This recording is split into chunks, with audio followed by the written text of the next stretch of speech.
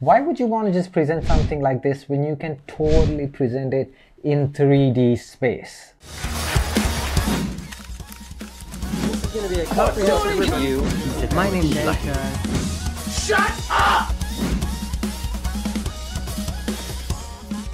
Just like all things that are animated related are animated related. There are multiple routes to come to one destination. When I started to learn how to use the camera, almost 70% of my animation um, included using the camera tool. So the first thing you need to do is obviously right click, go on to new and select the camera tool. What this does, it adds a separate layer on your timeline called the camera layer pretty self-explanatory. Now you don't need to worry about the settings on the camera. You can just, you know, go with the default if you're starting out because you're not going to be using them anyway if you're just learning this. Um, hit OK and that's gonna add a camera layer. The main thing you need to know about the camera layer is that it affects only 3D layers underneath the camera layer. So in order to enable 3D on, on your layers, you need to go and check the, the box-like icon that appears um, uh, next to the blur motion blur tool. So once you enable it, immediately you will see that instead of having one rotation parameter, you now have three, which is the X rotation, the Y rotation, and the Z rotation. Z rotation, the Z rotation, the Z rotation, the Z, the Z rotation, or the Z rotation. Oh God, I can't make up my mind.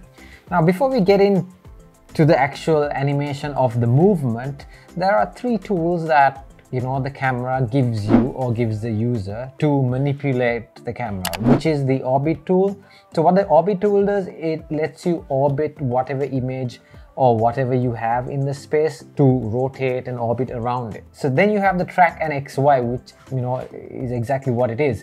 If you want to move uh, your camera on the XY plane, which is usually left, right, top, bottom, if you want to move it along that um, along those axes or axi axes um, you use the track X and Y and if you want to zoom in and zoom out that is when you're moving the Z when you're moving in the Z when you're moving the Z direction right? So that's what the track um, Z does. Now to access these uh, tools you can either right click and hold on the camera icon on the top left and wait for the drop down to show all the options that you have. Or you can just hit C on your keyboard to toggle in between all of these um, options, which is convenient. Like I always use the keyboard shortcut because it makes things faster and it's probably a good idea for you guys to learn that as well or get into a habit of using keyboard shortcuts. now that all the prep is done, you can start animating the movement. Now before I start, I always add keyframes in the point of interest,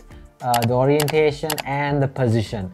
Um, because once you start moving the camera around using those three tools, th those are the three main parameters that get changed around. And it's easier for us to enable keyframes on all of it so that we don't have to, you know, finish an entire session of animating the movement and then figure later figuring out that, you know, one of the um, uh, parameters weren't actually locked in. So hit keyframes on those three and then scrub forward um, in the timeline to where the movement changes direction first. So in this example, it moves the top left um, before it, you know, changes direction and moves, you know, towards the bottom. Scrub forward a bit, use the orbit tool, the X, track XY and the Z tool to focus on the point that you want to focus.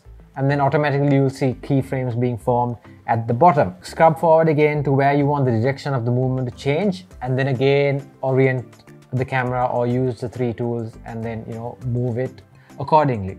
So once you scrub through the timeline and put keyframes um, in positions where you want the direction of movement to change and that's pretty much it and you're done with the entire movement. Now if you want to speed up or slow down the movement without affecting or, or without affecting the time in between, you can select all the keyframes, hold Alt down and drag the last set of keyframes back and forth. And then you will see that it's gonna stretch or compress um, you know, the time duration or the keyframes and it won't affect the timing in between. So that's a good thing uh, to keep in mind. If you want to speed it up or slow it down, that's the best way to do it as opposed to selecting keyframes individually and stretching it.